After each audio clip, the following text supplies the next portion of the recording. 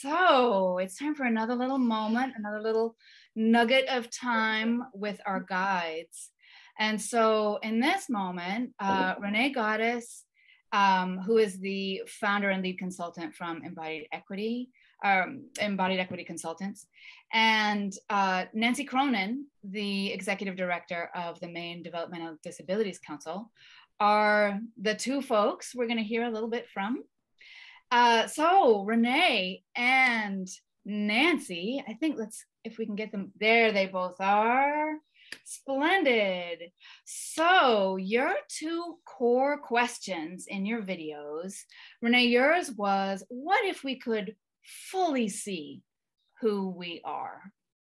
And Nancy, yours was uh, what if everyone, everyone were valued equally?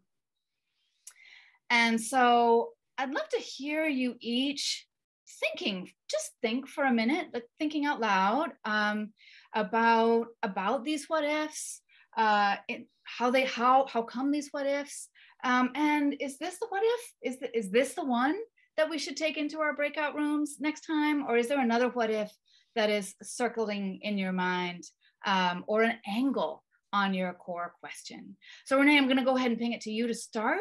Um, what are you thinking today? Little nugget. Ah, okay, so immediately I'm thinking that that breakout group was great. And thank you for that opportunity. Um, and I'm going to bounce off from what was going on there, which is the space of um, being an individual in the big world, in the big space. How does this structure manifest change in the larger structure? And then I think some of what was coming up in our group was how do you balance it all?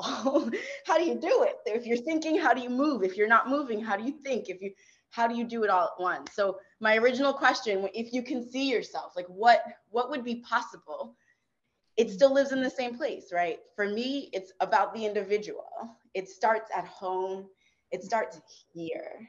And it's like, what is my personal practice? What is my personal ritual? What are the ways that when I wake up or step out of my bedroom threshold or out of my house threshold, what are the powers I hold that make it possible for me to keep taking a step? I'm thinking that basic and that simple. Yes, tomorrow, yes, yesterday. But right now, how are these thighs being held up by the rest of my knees, by the rest of my ankles? Do they feel like they can do that today? Is that what we should be doing? Should we walk through Portland today? Maybe maybe we don't walk through Portland today. Really going back to if I am thriving, if I am in the place of feeling successful for whatever that means for me, not what white terrorism has told me, not what white culture parenting has told me, but building what success looks like for me. And right now it's hard. It's a really hard thing choosing myself, but it's been a really fun journey to see that other people are doing it and attaching myself to other people and being like, I'm not alone. So I really appreciate these questions and these groups because I can see I'm not alone and it's clear we all have these questions. Oh, splendid. Is there a what if you want to pull out of there for us to take with us in a moment? And then we'll get, we'll do the same. We'll get one from Nancy and we'll take two into our next session. I do. I know. Um, what came out of this again, and thank you, Ian Carr, for like bringing it back to Afrofuturism for me also, because that's what's really beating at the heart for me of excitement for this project. But what if Afro Afrofuturism was legally required curriculum in schools? Awesome. What if Afrofuturism was legally required curriculum in schools? Lovely. So that's going to be one of our two. Nancy, what are you thinking today? What are you thinking right now? I'm thinking so many things right now. That question really did bring a lot to me. It brought to me um, how, you know, right now in this culture that we live in right now, we're in a very individualistic culture as opposed to a collectivistic culture. And the idea of, and I, I work, I don't work, I, I live, I commune with a lot of people with different amounts of ability. And I look, I see a lot of ableism and I see a lot of devaluing because of people's abilities to whatever label they have. And, and I've often wondered, and my original question is, what is, what would it be like if we were all able to be valued but I want to take away the equally because that's not it. I want to be valued for each other's gift. Can you imagine a community?